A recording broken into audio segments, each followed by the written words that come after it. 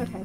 Cody, I have always wished that you and I had one of those cute stories about how we met because I've always hated telling people we met through social media. But now that I think about it, I think the universe knew we wouldn't have crossed paths any other way. Not many people can say they met their soulmate at 17, but I can, and to me that is better than any other story we could have. I was always so scared to rely on anyone to get too comfortable because of the way I grew up. Most people would have and have turned away, but you stayed. A lot of people thought we were too young when we moved in together, when we got engaged, and even now that we're getting married.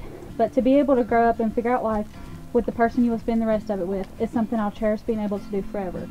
You have been there for so many milestones in my life that I don't think I can even picture a world where you aren't in them.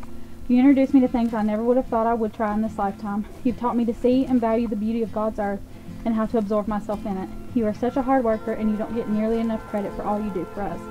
I'm glad that God gave me the person I needed when I needed you. Before I met you, I never thought I'd find anyone who would have the patience to understand me and all my flaws, but God gave me one of the most patient people on this planet. To end on a lighter note, I'll repeat the very first thing I said to you when we met for the first time in person. I still think you have kind of a big nose. I love you so much, Cody, and I'm so glad this day is finally here. And in just a few minutes, I'll walk down the aisle to you and we will have her forever. I love you. Love Kiersten.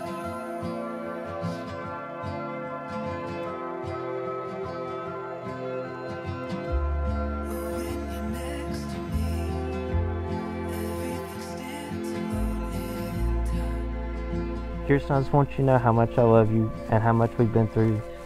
We've been through so much together. I still can remember the first time I ever laid eyes on you. I loved everything about you, your eyes, your beautiful smile, your personality. I just fell in love with it all.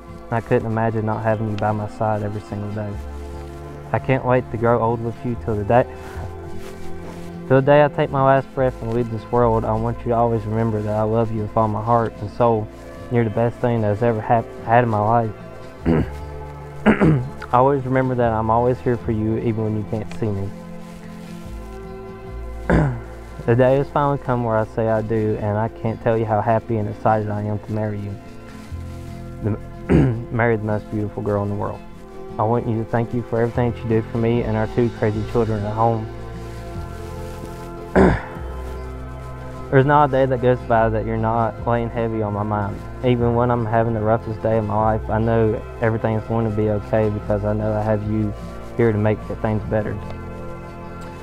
I can't wait to see what the future holds for us. I know as long as I have you, we can get through the roughest of times. Today is our big day, and let's go out there and have the best day of our lives.